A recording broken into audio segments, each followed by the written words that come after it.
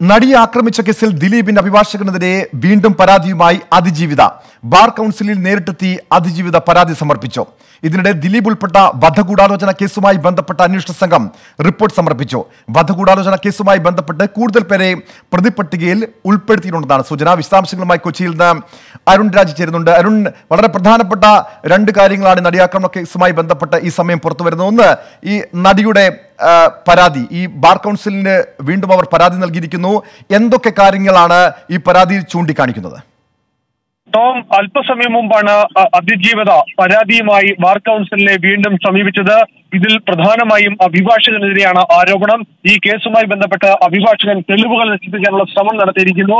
ഈ കേസിൽ സാക്ഷികളെ സ്വാധീനിക്കാൻ അഭിഭാഷകൻ ശ്രമിച്ചു എന്നതിന്റെ പല തെളിവുകൾ പുറത്തു വരുന്ന ഘട്ടത്തിൽ അഭിഭാഷകനെതിരെ നടപടി വേണം എന്ന ആവശ്യമാണ് പ്രധാനമായും അതിജീവിത ഈ പരാതിയിൽ ഉന്നയിക്കുന്നത്.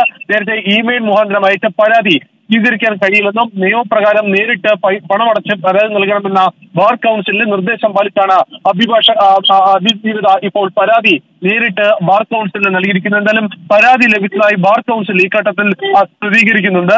മറ്റൊരു പ്രധാനപ്പെട്ട കാര്യം വധശ്രമ ഗൂഢാലോചന കേസിലാണ് അന്വേഷണ സംഘം ഇപ്പോൾ റിപ്പോർട്ട് സമർപ്പിച്ചിരിക്കുന്നത്. രണ്ടര മാസം ഈ കേസ് അന്വേഷണം പിന്നിടുമ്പോഴാണ് അന്വേഷണ സംഘത്തിന്റെ റിപ്പോർട്ട് എന്നുള്ളതാണ് ഏറെ പ്രധാനം. ഏറ്റവും പ്രധാനപ്പെട്ട ഒരു കാര്യം ഈ കേസിൽ കൂടുതൽ പ്രതികൾ ഉണ്ടാകും എന്നുള്ള അന്വേഷണ സംഘത്തിന്റെ കണ്ടെത്തലാണ്. അത് തന്നെയാണ്. വധഗൂഢാലോചന കേസിൽ കൂടുതൽ പ്രതികൾ ഉണ്ടാകുമെന്ന സൂചനയാണ് ഇപ്പോൾ പുറത്തുവരുന്നത് വധഗൂഢാലോചന കേസുമായി ബന്ധപ്പെട്ട അന്വേഷണ സംഘം കോടതിയിൽ റിപ്പോർട്ട് സമർപ്പിച്ചിരിക്കുന്നു. ആർ അരുൺ രാജാണ് വിശദാംശങ്ങൾ നൽകിയത്. ലോകത്തെവിടെയായാലും ഏത് സമയത്തും ട്വന്റി ഫോർ വാർത്തകളും ഓഗ്മെന്റഡ് റിയാലിറ്റി പാക്കേജുകളും എക്സ്പ്ലെയിനറുകളും വിശദമായി കാണാൻ ഞങ്ങളുടെ യൂട്യൂബ് ചാനൽ നിങ്ങൾക്ക് സബ്സ്ക്രൈബ് ചെയ്യാം.